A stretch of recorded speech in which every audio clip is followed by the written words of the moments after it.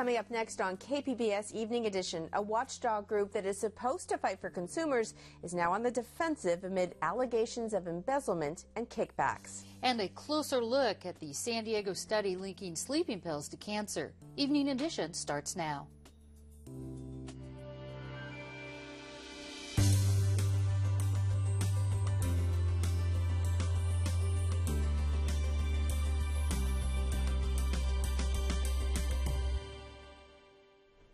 Hello, thanks for joining us. I'm Joanne Faryon. And I'm Peggy Pico in for Dwane Brown. The San Diego consumer watchdog group is dissolving. The Utility Consumers Action Network is best known for taking on utilities like San Diego Gas and Electric on behalf of ratepayers. But now UCAN is dealing with legal troubles of its own. KPBS investigative reporter Amita Sharma has the details from the News Center. Amita, what are the legal problems UCAN is facing right now? Well, Peggy, UCAN is facing allegations of financial impropriety and a federal grand jury probe. Whistleblowers who work for UCAN say they noticed suspicious financial transactions. They say they brought the information to UCAN's board members, but were told it was groundless. Why is UCAN choosing to dissolve itself? In its press advisory, UCAN said it wanted to protect its assets while resolving this, these issues. And will they still be active in opposing SDG&E's latest request for a rate increase? UCAN's executive director, Michael Shames, says the organization will remain an advocate for consumers. KPBS investigative reporter Amita Sharma, thanks very much. We now go to the roundtable where Joanne has more on this breaking story.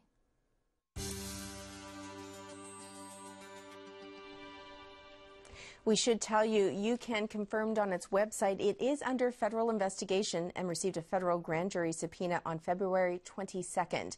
The two UCAN employees who complained of wrongdoing are Charles Langley, an analyst with UCAN, and David Peffer, an, an attorney with the watchdog agency. They join me in studio now. Thank you both for being here. Now, I want to let people at home know we're not going to get into the details of your allegations against uh, UCAN employees, and this involves higher senior management employees at UCAN because, of course, these are allegations. Uh, there has been no indictment at this point. But, Charles, I want to begin with you and ask you when you first went to the board to uh, report what you felt was uh, financial impropriety. I did it in, uh, I think, around April 6th. I, I sent some pretty extensive documents just documenting uh, various, uh, what, what I felt was inappropriate uh, activity at UCAN. It was a confidential internal complaint. And uh, now, David, you had sent a letter to the board as well around that time, or a little bit before that. Yes, I sent a letter on March 4th, uh, 2010. And, and I know we've been calling you whistleblowers, but this began as confidential complaints to the board? Uh, you know, when you think of a whistleblower, you think of someone going public and blowing the whistle. We, we haven't done that. Essentially, UCAN blew the whistle on itself by, by posting an anonymous, oddly enough, press advisory last night. The advisory keeps changing. Um, our status as employees keeps changing depending on when you check the advisory. And uh, we, we didn't go to the media. We didn't take this outside of the family. And we didn't ask for this. And we don't want UCAN to dissolve. We don't think it's appropriate for UCAN to dissolve at this time. So let's back up a little bit. You, you had concerns. You went to your board. You wrote them formal letters. Um, what did the board say to you? How did they respond? It took them a while to respond. Um, it took a couple of weeks. And when they did, it was very hopeful for us. They had retained what they said was a really well known um, nonprofit attorney, and they said they were going to conduct a full forensic audit. That never happened. The audit never happened. And so then what happened? You, you went to a lawyer. Well, we, we waited. We waited patiently for some type of result uh, from this, this investigation. We're still waiting for the results of what is essentially a secret investigation. And what's disturbing about this is UCAN is, is member funded. It's a 501c3 nonprofit that enjoys huge tax advantages. And in a sense, every U.S. and California taxpayer owns a piece of UCAN. And they appear to have spent more than $100,000 conducting a secret investigation and then saying, well, everything's fine, everything's okay. Some of this is public money too, isn't it? Isn't there some PUC, Public Utilities uh, Commission money that gets funneled back into UCAN as well? Yeah, it's something called intervenor compensation. When UCAN uh, prevails uh, in a rate decision with SDG&E or is deemed to have contributed some value to a rate hearing, a portion of our legal expenses are, are re reimbursed. It's called intervenor income, and uh, it's a significant portion of UCAN's revenue. And that makes it public money. Now, David, I want to ask you, you're, you're, you're a lawyer, yes, I but am. you went to a lawyer when the board didn't hear your complaints. Is this to now sue the board, or was it, what is it that you asked your lawyer to do? I asked my lawyer to represent us in trying to push through the investigation and the reforms that we've been asking for. What we want is a clean, honest, transparent watchdog, one that lives up to the ideals that so many people here believe UCAN stands for. Have you both been fired? It depends on what version of the uh, press advisory on the website you read. It, it has uh, referred to former employees and then current staff, and it seems to change every couple of hours. Now, both of you were on this show last week. Mm-hmm. David, you were here to talk about SDG&E proposed rate hikes, Mm-hmm. and Charles, you were here to talk about gas gas prices. Mm-hmm. Now, one week later, this you you were speaking on behalf of an agency that's supposed to represent the consumer. You're a watchdog agency, and now look look what's happened. Now, one week later, how do you feel knowing that now you were representing a, a, a really an agency that that obviously you have a lot of concerns about? This is devastating. It's something that's been going on in the background for quite a while, but we were always hopeful that we could change things, that we could make this agency something great. Um, and with the dissolution, that that's it's heartbreaking. I feel really distressed. We're asking really simple questions. How much money was there? Where did it go? How was it spent? In what accounts? And why are we suddenly out of money now? I attended a, a board meeting on December 15, 2011, or no, 2010, where Michael Shames announced that UCAN was financially healthy and viable. They were talking about buying a new building, that they had enough money to literally go for two years without a penny of fundraising. And fundraising is actually an important aspect of my job there. So it's very disturbing that when suddenly, on the same day, a grand jury subpoena is issued, the organization decides to dissolve rather than open up its books and say, honestly, this is what's happening. This is where the money went. Charles Langley, David Peffer, thank you for being here. KPBS reached out to UCAN board members, but they declined our request for an interview. UCAN CEO Michael Shames also declined to be interviewed, but did issue this statement. I'm not going anywhere, and SDG&E will need to put away that high-priced champagne for at least another five years or so before they begin popping any corks. And of course, he's referring to UCAN's action against SDG&E. Also, on UCAN's website, a press advisory with the following comment. No evidence confirming such allegations was provided by those lodging allegations, nor discovered by any of the professionals retained by UCAN's board. And of course, that was posted by Anonymous, and that is on UCAN's website. Today, a judge denied a union request to stop a vote on raising hotel room taxes in San Diego. Hotel owners will vote in a few weeks on raising taxes to pay for an expansion of the San Diego Convention Center. A union representative for hotel workers claims the plan is illegal. They want all city residents to vote on the tax, not just hotel owners. The city plans to take the issue to court if the tax is approved. The judge says the union can make its argument at that time. California Attorney General Kamala Harris has announced the introduction of a homeowner's Bill of Rights in the legislature. The package of six bills is intended to reform the mortgage process and provide more protection for homeowners. The package includes terms from a nationwide settlement with the biggest mortgage lenders in the country, which include things like the end to robo-signing and more transparency in the foreclosure process. Also today, Harris says her office will not oppose a class action settlement settlement with Honda over its hybrid cars. Honda agreed to pay buyers a few hundred dollars each to settle complaints over an overinflated fuel efficiency claims. But California and several other states decided to take a second look at the matter after a Los Angeles woman won nearly $10,000 in small claims in a small claims suit for the same complaint. The Attorney General's office is not explaining why they are not trying for more money.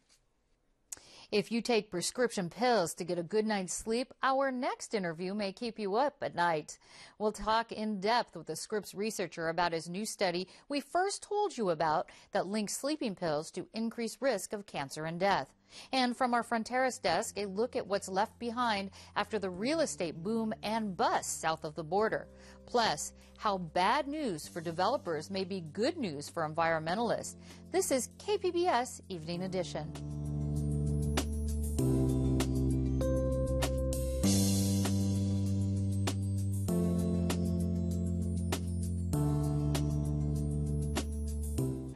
I'm Gwen Ifill on the next news hour. The GOP presidential candidates turn to Super Tuesday when voters in 10 states select over 400 convention delegates. That's Wednesday on the PBS NewsHour. In the last year, KPBS News has been honored with nearly three dozen awards. I'm extremely proud of these honors, and I thank you for your support as we continue to serve our local communities with award winning news coverage in the years to come.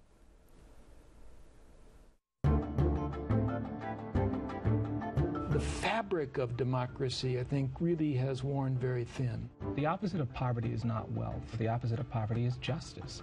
Americans have to fight for the American dream. Democracy is not what governments do, it's, it's what people do. This is how we fight back.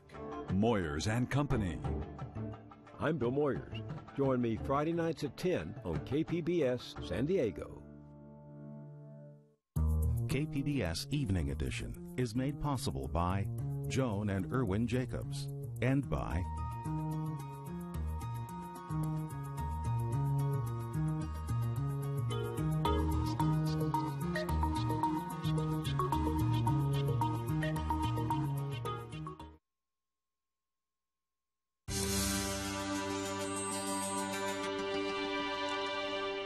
Taking sleeping pills on a regular basis is associated with an increased risk of death and cancer. That's according to a study published in the online journal BMJ Open. It's authored by local researcher Dr. Daniel Kripke. Some of the findings are alarming. Let's take a look. Patients using hypnotics, or in other words, sleeping pills, had an increased risk of death. Fewer than 18 hypnotic doses per year increased mortality. Overall, cancer increased by 35% among those prescribed high doses. Now, joining me to talk about these findings is Scripps researcher Dr. Daniel Kripke. Thank you for being here. Oh, thank you. I'm glad to be here. So, tell us about how you went about this research.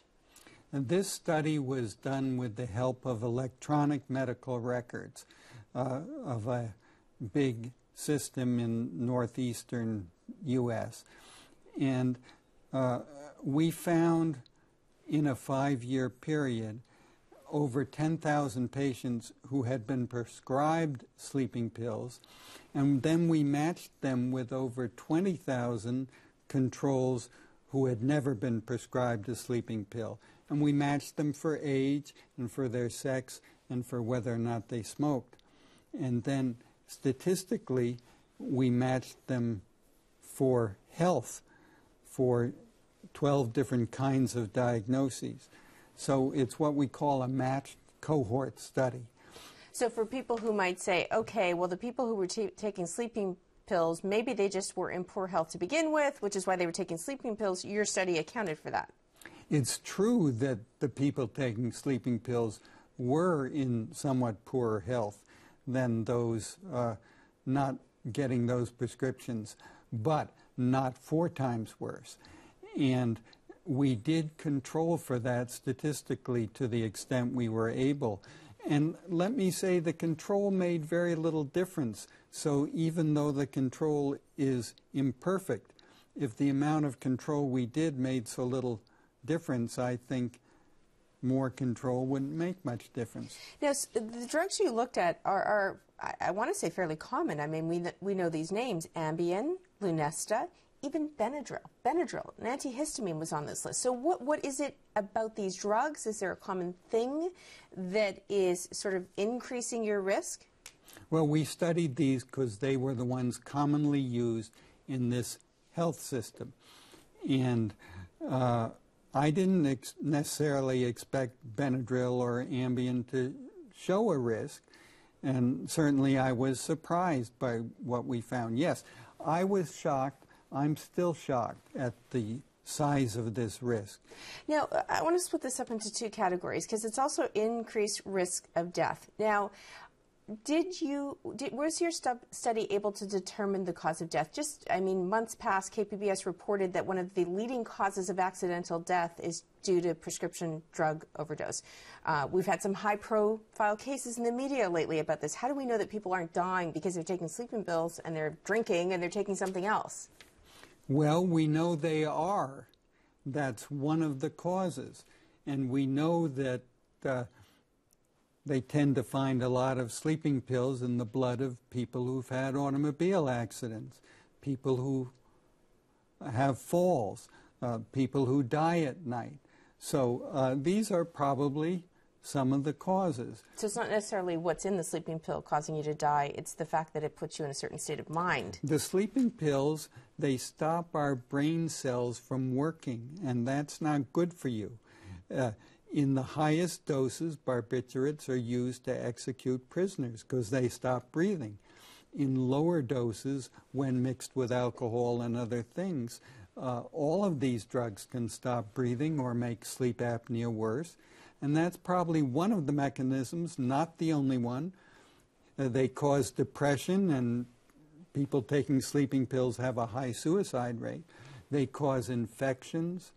And they cause cancer. We don't have a lot of time left. This is work you've been doing for a very long time. Uh, you told me earlier back in the 70s is when you first discovered that sleeping pills were probably not very good for you. You know, is this, some people might argue that maybe this has been a long time sort of mission to sort of find, you know, for you to kind of come to this conclusion. Well, we saw evidence earlier. This is the strongest evidence and this is the first evidence to name the particular pills. But there are 18 different studies done mainly by other people in other countries that show the same association of sleeping pills with mortality. It's not just my study. Uh, the only thing about this study that's special is it names the pills, it shows the dose response, and it was better controlled for confusing factors than the other studies. And I want to tell the people at home that we have the list of those drugs, um, more on this study, uh, more information on our website, kpbs.org. Dr. Daniel Kripke, thank you so much for being here. Thank you.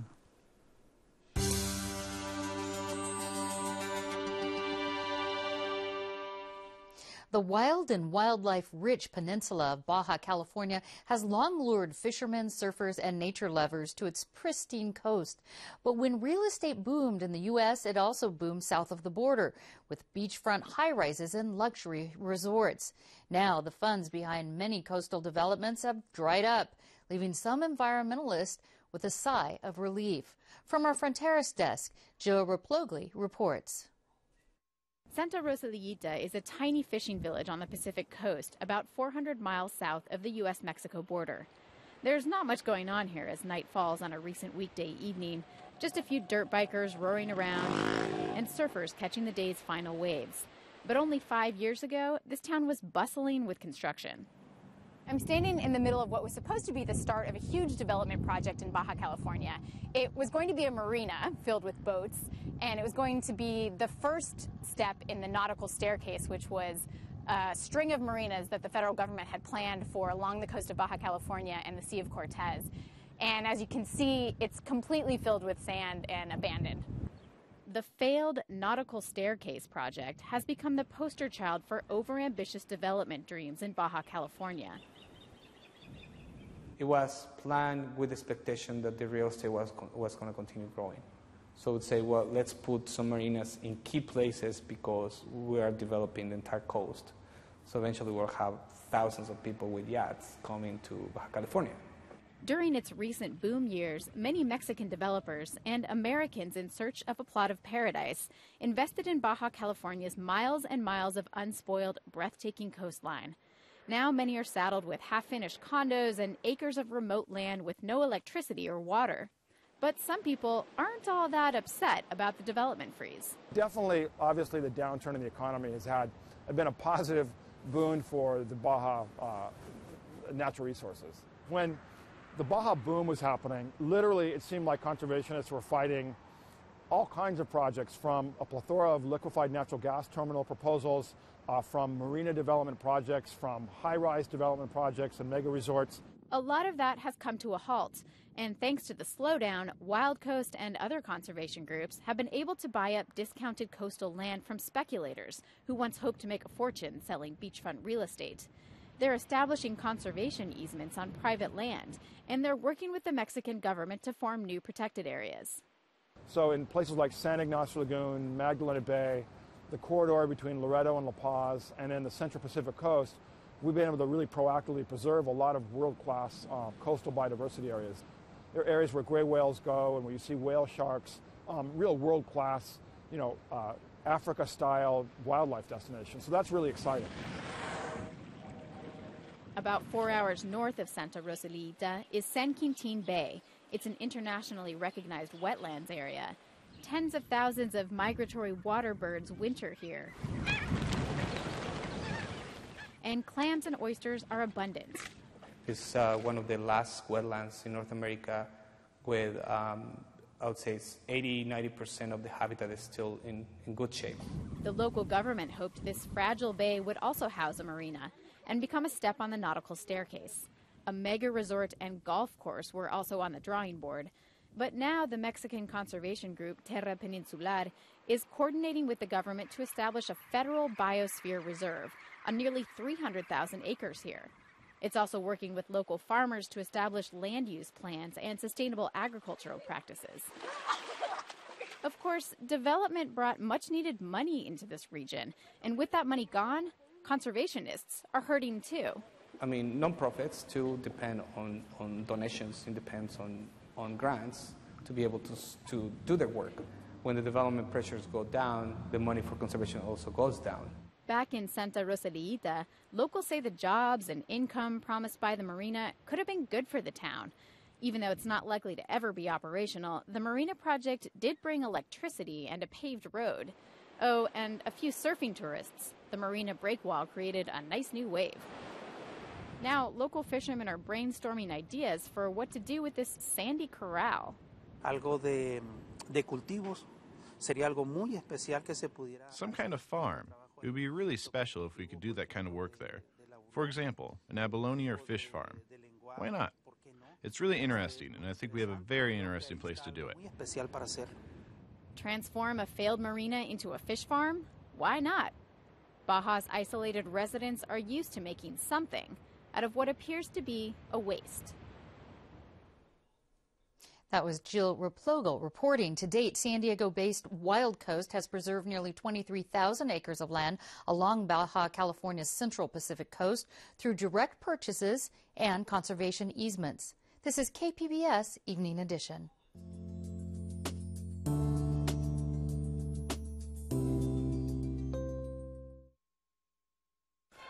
I'm Peter Marshall. And I'm Nick Clooney with another edition of My Music from the glorious Big Band era. Night and day. Music is it's timeless. It's my music. The big band vocalist right here on PBS. Saturday at 6 on KPBS. I love KPBS because when I wake up in the morning and that radio station goes on, 89.5 goes on, I know that I am going to get information that I can trust, that I can respect, that I can value, and I know I'm getting the truth. He brought you Faces of America, African American Lives, Oprah's Roots, and now in his new series. That's pretty remarkable. Henry Louis Gates Jr. shares extraordinary revelations. Oh my God. About the lives of these talented Americans. The new series, Finding Your Roots with Henry Louis Gates Jr., coming in March, only on PBS.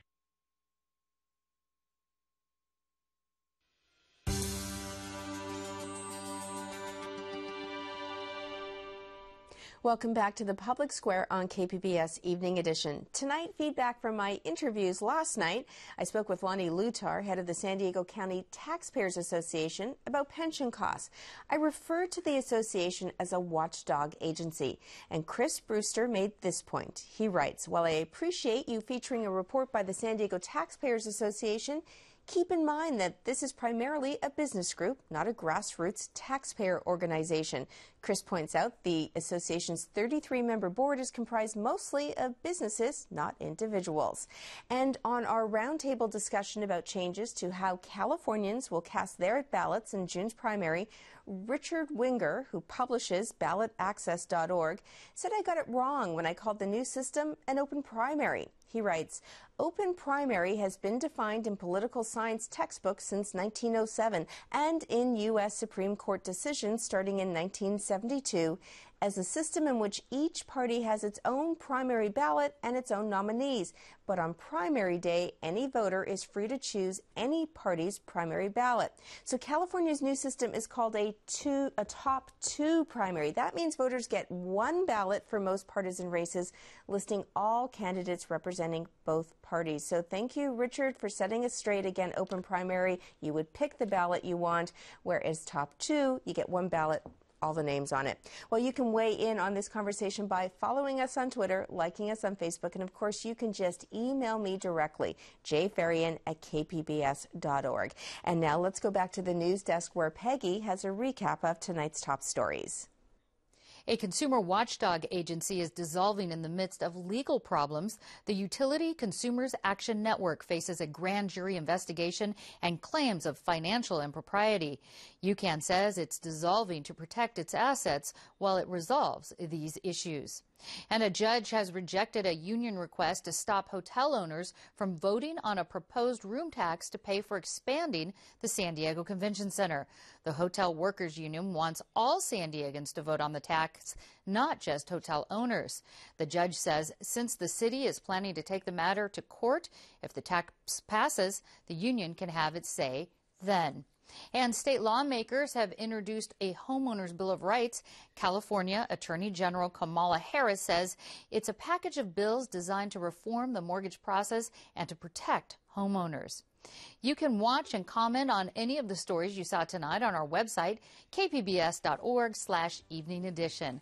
Thank you for joining us. Have a great evening, and we'll leave you with a look at the forecast.